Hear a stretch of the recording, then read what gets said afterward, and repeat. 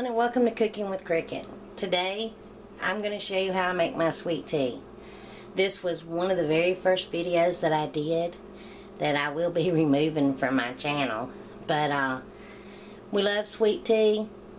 I drink it all the time and I make two gallons at a time but there's always three gallons in my refrigerator.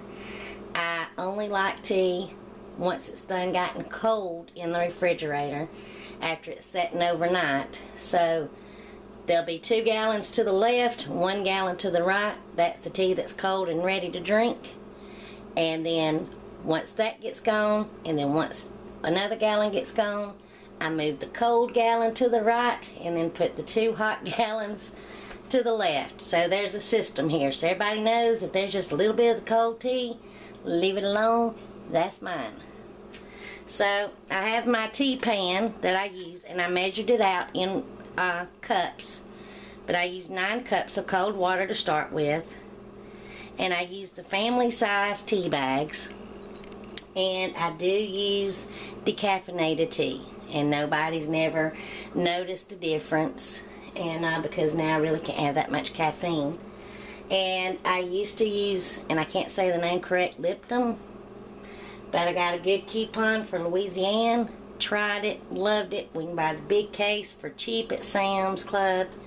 So that's what I use. And I know many people uh, do their tea totally different. This is just the way that I do it.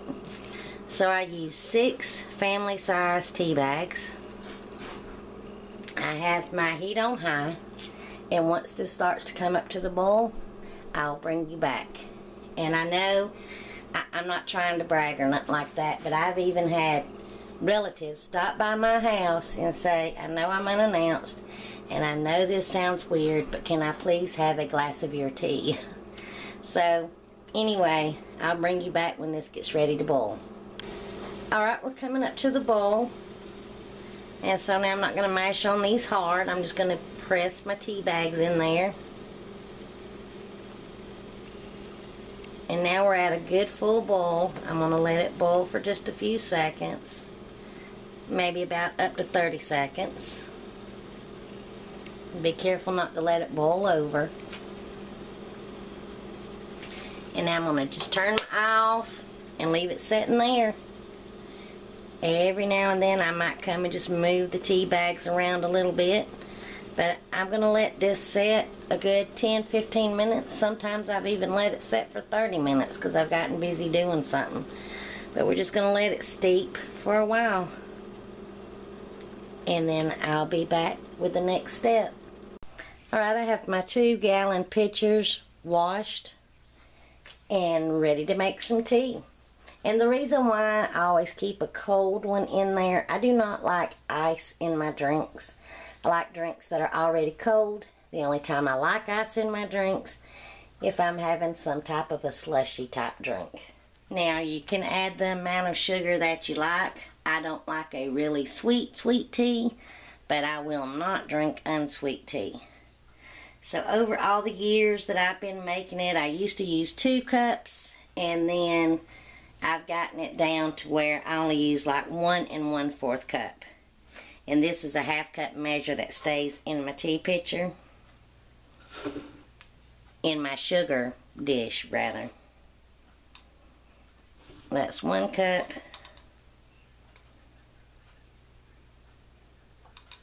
And fourth. I'm going to be like Justin Wilson and prove that this is around a fourth of a cup. See? you measure stuff so long you just get to know it. Now my tea has been setting for around 15-20 minutes. I'm going to give it a gentle stir. And I'm going to pour half in one container and the other half in the other.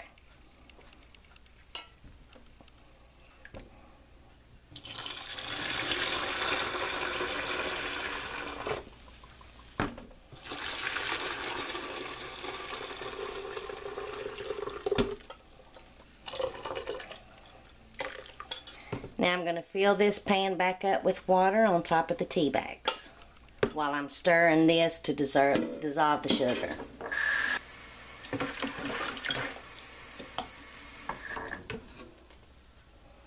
Okay, I hope you can see this. I have that filled up with water.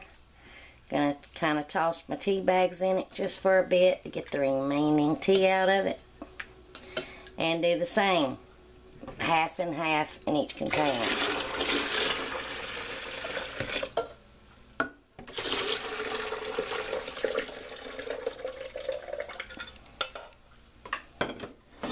And now just finish filling it up with cold water. And now just give it a good stir, pop the lid back on, and the refrigerator it goes. And this is how I make my sweet tea. And that way I already have one gallon in my refrigerator that has set overnight and it's cold. And we don't drink that much in a day. But with four adults here, and I'm the main tea drinker. But that way I already have one cold that lasts all day. And then by the time I get ready to make some more, sometimes it's every other day when I make tea, then I already have one that's already cold before I have to make more. Thanks for watching. If you enjoy this video, please give me a thumbs up. Comment because I do love hearing from you. Let me know, do you like sweet tea and how do you make yours? And how much sugar and all do you add? Let me know. And until my next video, I hope you enjoy. Bye, y'all.